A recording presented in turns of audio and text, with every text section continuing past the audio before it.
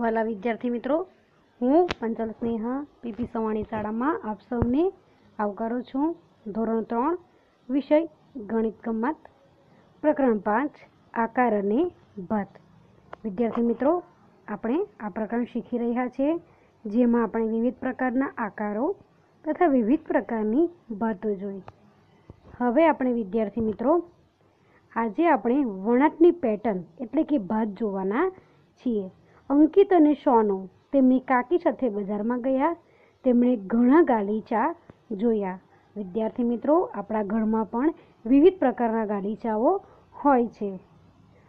વાહ, ઘણા બધા રંગો. અંકિત શું બોલે છે કે ઘણા બધા રંગો છે? શોનો કહે છે, ઘણા બધા આકારો. વર્તુળ, ત્રિકોણ, એની ભાત જુઓ. આ કિનારીઓમાં કયા ભૌમિતિક આકારો તમે ઓળખી શકશો? તમારી નોટબુકમાં તે દોરો. તો વિદ્યાર્થી મિત્રો, આપણે જોઈએ તો આકાર એક, એટલે કે આયરો, પહેલા નંબરનો આકાર. જેમાં આપણે આ પ્રકારની, એટલે વિદ્યાર્થી મિત્રો, આને કહેવાય ચાપ, ત્યારબાદ ચોરસ, ત્યારબાદ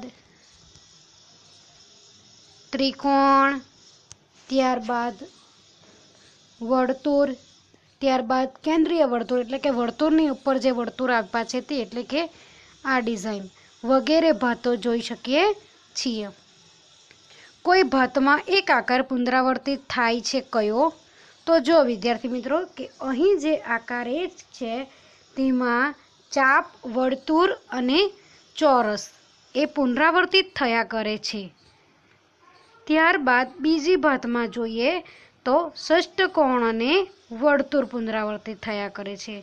ત્યારબાદ ત્રીજી આકૃતિમાં જોઈએ, એટલે કે આમાં જોઈએ તો પણ ષષ્ટકોણ અને કેન્દ્રીય વર્તુળ પુનરાવર્તિત થતું જોવા મળે છે. આકારો શેના બનેલા છે? વક્રરેખા, સીધી રેખા કે વક્રરેખા અને સીધી રેખા બંનેના? તો જવાબ આવશે વક્રરેખા અને સીધી રેખા બંનેના.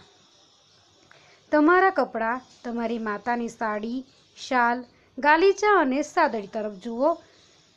તમે કેટલા ભાત ઓળખી શકશો? તમારી નોટબુકમાં તે દોરો. ચાલો, હવે આપણે ભોયતળિયાની પેટર્ન એટલે કે ભાત જોઈશું. જેમ, જેમાં પેટર્ન ભાત હોય એવું ભોયતળિયું તમે જોયું છે. તો વિદ્યાર્થી મિત્રો, આપણે ઘણી બધી જગ્યાએ દરેકના ઘરમાં અલગ અલગ પ્રકારની જે લાદીઓ હોય છે, એટલે કે જે સ્ટાઇલ્સ હોય છે, તેમાં અલગ અલગ પ્રકારની પેટર્નો હોય છે. આ ભાત કેવી રીતે બનાવવામાં આવે છે, તમે જાણો છો? આ ભાત સમગ્ર ભોંયતળિયા પર કોઈ પણ જાતની ખાલી જગ્યા સિવાય એકબીજા પર બરાબર બંધબેસતી લાદી પાથરીને બનાવવામાં આવે છે. દાખલા તરીકે લાદીઓનો આકાર જુઓ અને તેઓ કેવી રીતે બંધબેસતી થાય છે તે જુઓ. તો જુઓ, વિદ્યાર્થી મિત્રો, લાદીઓનો આકાર આ પ્રમાણે છે અને તેને બંધ બેસાડી છે. ત્યારબાદ જુઓ કે આ છ બાજુવાળી લાદી તરફ જુઓ. તો જો વિદ્યાર્થી મિત્રો, અહીં છ બાજુવાળી લાદી એટલે કે ષષ્ટકોણવાળી લાદી છે અને તેને ભોંય તળિયા પર આ રીતે બંધ બેસાડી શકાય છે. ત્યારબાદ આગળ જોઈએ. તો નીચેનામાંથી જે લાદીઓ ભોંય તળિયા પર ભાત બનાવશે તે લાદીઓની ભાત સાથે તમે મેળવી શકશો. બંધ બેસતું કરવા માટે લીટીઓ દોરો. તો વિદ્યાર્થી મિત્રો, અહીં આપણે જો, જે નાની પેટર્ન છે તે પેટર્ન ભોંય તળિયાની આ ચાર પેટર્નમાંથી કઈ પેટર્ન બનાવશે તે આપણે નક્કી કરવાનું છે. તો જુઓ, સૌપ્રથમ વિદ્યાર્થી મિત્રો, આ આકારને લઈએ તો આ પ્રકારની પેટર્ન બનાવશે ભોંય તળિયે. આ આકાર આ પ્રકારની પેટર્ન બનાવશે. ત્યારબાદ આ આકાર આ પ્રમાણેની પેટર્ન બનાવશે અને આ આકાર આ પ્રમાણેની પેટર્ન બનાવશે.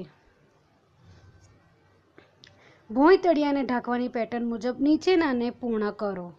વિદ્યાર્થી મિત્રો, હવે આપણે આ આકારને પૂર્ણ કરવાના છે અને તેમાં રંગ પણ કરવાનો રહેશે.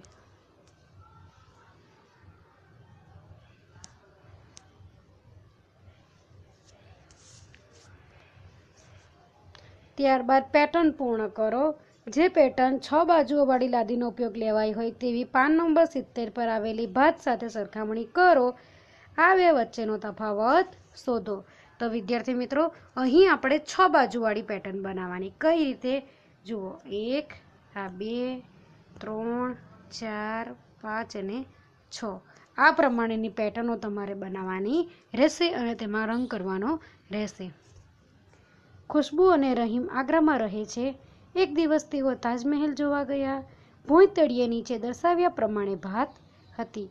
તો જુઓ, વિદ્યાર્થી મિત્રો, અહીં જે આપણને ભાત આપવામાં આવેલી છે, એટલે કે જે આ ડિઝાઇન આપવામાં આવેલી છે, તેના પરથી કહે છે, તો આ ભાતમાં હું બે જુદી જુદી લાદીઓ જોઈ શકું છું. હું માનું છું કે ફક્ત એક જ લાદીનો ઉપયોગ થયો છે. એટલે કે કોણ સાચું છે તો કે રહીમ. કારણ કે આ એક જ લાદીને પહેલાં આડી બના પાથરી છે અને પછી ઊભી કરી છે. એટલે રહીમ સાચો છે. લાદી વડે ભૂંય તળિયું ઢાંકવું. તો નીચેની પેટર્ન ચોરસ લાદીમાંથી બનાવવામાં આવેલી છે. હવે આપણે ભોંય તળિયાની પેટર્નને ઢાંકવાની છે. અહીંયા આપણને જે બે નમૂના આપ્યા છે તે પ્રમાણે નીચે દર્શાવેલા જે બે પેટર્ન છે તેમાં તમારે મનગમતા રંગ કરવાના રહેશે.